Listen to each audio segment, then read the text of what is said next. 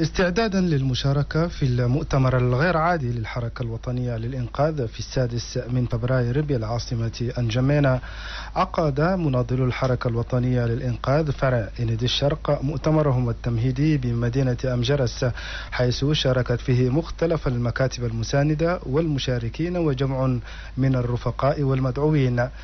لدى كلمته الافتتاحية للأعمال الأمين العام لحزب الحركة الوطنية للإنقاذ فرع نادي الشرق عبود هاشم بدر.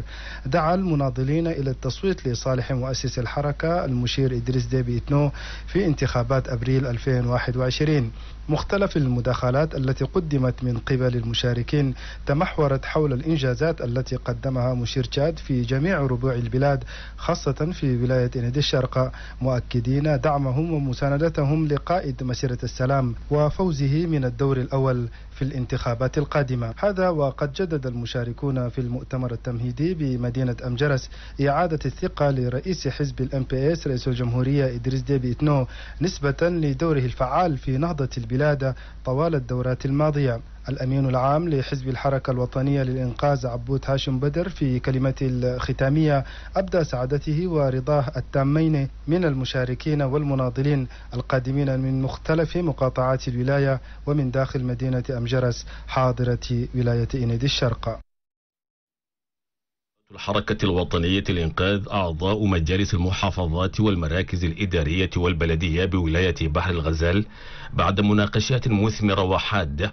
في هذا اللقاء اعتمدوا برقيات ومقرر لتعيين مرشح الحركة الوطنية للإنقاذ للانتخابات الرئاسية في شهر أبريل 2021 هذا وبعد عرض أعضاء اللجنة المكلفة برئاسة المؤتمر التمهيدي قدم رئيس اللجنة التحضيرية عيسى عبد الرحمن جونجلاي قدم برقية تهنئة لمشير تشاد إدريس ديبيتنو رئيس الجمهورية.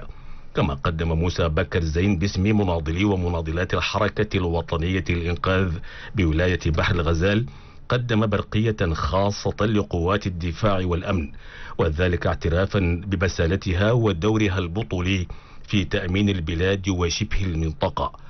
هذا وبعد مداولات ونقاشات مفيدة بين هؤلاء المناضلين الملتزمين بقيم ومبادئ الحركة الوطنية للإنقاذ. تم إصدار مقرر متعلق باختيار مرشح الحركة الوطنية للإنقاذ في الانتخابات الرئاسية. هذا وفي اختتام أعمال المؤتمر التمهيدي أشاد الأمين العام الولائي للحركة الوطنية للإنقاذ بالحضور والجهود التي بذلت وأسهمت في تعيين مشير تشاد إدريس ديبيتنو رئيس الجمهورية مرشحا في الانتخابات الرئاسية لشهر أبريل القادم.